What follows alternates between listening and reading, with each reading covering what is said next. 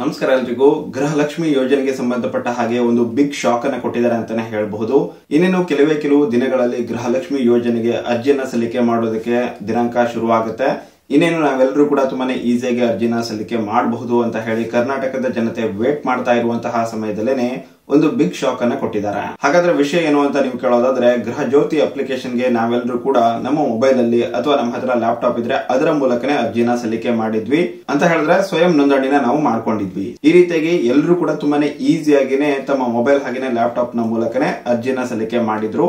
ತುಂಬಾನೇ ಈಸಿಯಾಗಿ ಇದು ಅಕ್ಸೆಪ್ಟ್ ಕೂಡ ಆಗಿತ್ತು. ಆದ್ರೆ ಇವಾಗ ಗೃಹಲಕ್ಷ್ಮಿ ಅನ್ನುವಂತಹ ಯೋಜನೆಗೆ ಯಾವುದೇ ರೀತಿಯಾದಂತಹ ಸ್ವಯಂ ನೋಂದಣಿ ಇಲ್ಲ. ಅಂತ ಹೇಳಿದ್ರೆ ನೀವೇನೆ ನಿಮ್ಮ ಮೊಬೈಲ್ ಅಲ್ಲಿ ಅಥವಾ ಲ್ಯಾಪ್ಟಾಪ್ ಅಲ್ಲಿ ಅರ್ಜಿನ ಸಲ್ಲಿಕೆ ಮಾಡೋದಕ್ಕೆ ಆಗೋದಿಲ್ಲ.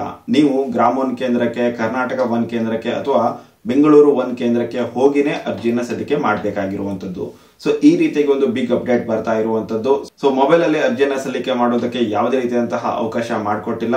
ಮುಂದಿನ ದಿನಗಳಲ್ಲಿ ಮಾಡಿಕೊಡಬಹುದೇನೋ, ಆದ್ರೆ ಚಾನ್ಸಸ್ ತುಂಬಾನೇ ಕಡಿಮೆ ಇದೆ ಅಂತಾನೆ ಹೇಳಬಹುದು. ಯಾಕೆ ಅಂತ ಹೇಳಿದ್ರೆ, ಕೇವಲ ಅವರು ಗ್ರಾಮ ಒನ್ ಕೇಂದ್ರಕ್ಕೆ ಅಥವಾ ಕರ್ನಾಟಕ ಒನ್ ಕೇಂದ್ರಕ್ಕೆ ಜೊತೆಗೆ ಬೆಂಗಳೂರು ಒನ್ ಕೇಂದ್ರಕ್ಕೆ ವಿಸಿಟ್ ಮಾಡಿ ಅಲ್ಲೇನೆ ಅರ್ಜಿನ ಸಲ್ಲಿಕೆ ಮಾಡಬೇಕು ಅಂತ ಅಷ್ಟೇ ಹೇಳಿಲ್ಲ. ಇದರ ಜೊತೆ ಜೊತೆಗೆ ಪ್ರಜಾಪ್ರತಿನಿಧಿ ಅನ್ನುವಂತಹ ಒಂದು ಹೊಸ ಕಾನ್ಸೆಪ್ಟ್ ಅನ್ನ ಕೂಡ ಮುಂದೆ ತಗೊಂಡು ಬಂದಿದ್ದಾರೆ. ಇದೇನಪ್ಪಾ ಅಂತ ಹೇಳಿದ್ರೆ, ಒಂದೊಂದು ಹಳ್ಳಿಗಳಲ್ಲಿ ಒಬ್ಬೊಬ್ಬರನ್ನ ಅಥವಾ ಇಬ್ಬರನ್ನ ಆಯ್ಕೆ ಮಾಡಲಾಗುತ್ತೆ ಪ್ರಜಾಪ್ರತಿನಿಧಿ ಅಂತ ಹೇಳಿ. ಅವರು ಪ್ರತಿ ಮನೆಗೂ ಕೂಡ ಹೋಗಿ ಅವರ ಗೃಹಲಕ್ಷ್ಮಿ ಯೋಜನೆಯ ಅರ್ಜಿಯನ್ನ ಸಲ್ಲಿಕೆ ಮಾಡಬೇಕಾಗಿರುತ್ತೆ ಅಥವಾ ಅದನ್ನ ಫಿಲ್ ಮಾಡಬೇಕಾಗಿರುತ್ತೆ. ಈ ರೀತಿಯಾಗಿ ಪ್ರಜಾಪ್ರತಿನಿಧಿನ ಕೂಡ ಆಯ್ಕೆ ಮಾಡಿರೋದ್ರಿಂದ ಆನ್ಲೈನ್ನಲ್ಲಿ ಅರ್ಜಿ ಸಲ್ಲಿಸುವಂತಹ ಅವಕಾಶ ಏನಿದೆ, ಇದನ್ನ ತಗೊಂಡ್ ಬರುವಂತಹ ಚಾನ್ಸಸ್ ತುಂಬಾನೇ ಕಡಿಮೆ ಕಾಣಿಸ್ತಾ ಇದೆ ಗೃಹಲಕ್ಷ್ಮಿ ಯೋಜನೆಯಲ್ಲಿ. ಸೊ ಈ ರೀತಿಯಾಗಾದ್ರೆ ಸ್ವಲ್ಪ ಜನರಿಗೆ ಇಷ್ಟ ಆಗಲ್ವೇನೋ ಅಂತ ಅಂದ್ಕೊಂಡಿದೀನಿ. ಯಾಕಂತ ಹೇಳಿದ್ರೆ ಗೃಹ ಜ್ಯೋತಿ ಅನ್ನುವಂತಹ ಅಪ್ಲಿಕೇಶನ್ ಅನ್ನ ಎಲ್ಲರೂ ಕೂಡ ಮೊಬೈಲ್ ಅಲ್ಲೇನೆ ಸಲ್ಲಿಕೆ ಮಾಡಿದ್ರು. ಸೊ ತುಂಬಾನೇ ಈಸಿ ಆಗಿತ್ತು ಕೂಡ.